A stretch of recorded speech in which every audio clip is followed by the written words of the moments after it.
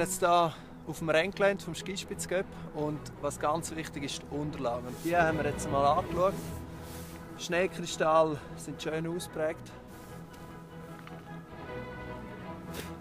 Mhm. Mal. Ein guter Trainer hat mir einmal gesagt, ihr müsst den Schnee schmecken. Und er schmeckt wirklich nach Rennen. Die Unterlage die wird parat sein.